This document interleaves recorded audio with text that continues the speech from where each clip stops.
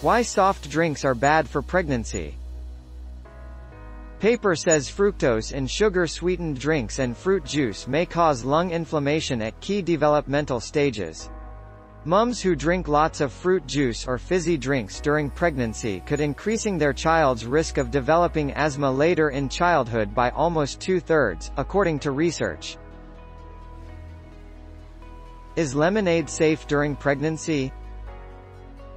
The high acid levels created by citric acid may also increase your risk for experiencing acid reflux or heartburn, which is already fairly common during pregnancy. Drinking highly concentrated lemon-based beverages like lemonade may induce heartburn more than just a splash of lemon in your water. Does Coke stop pregnancy? Drinking soda daily may harm your fertility. If you are trying to get pregnant, you might want to cut back on soda. A new study has found that it could reduce your chances of conceiving. Can drinking Coke prevent pregnancy? Drinking soda daily may harm your fertility. If you are trying to get pregnant, you might want to cut back on soda. A new study has found that it could reduce your chances of conceiving.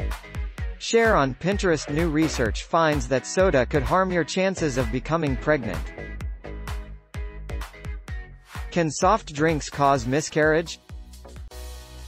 Caffeine is linked to miscarriage risk, new study shows.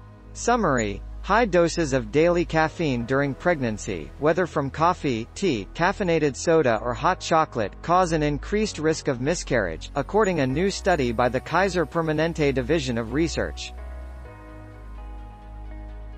Is ginger good for pregnancy? Ginger is a common folk treatment for upset stomach and nausea. Dot dot dot. Studies found that taking ginger could reduce nausea and vomiting in some pregnant women. But pregnant women should be careful with ginger.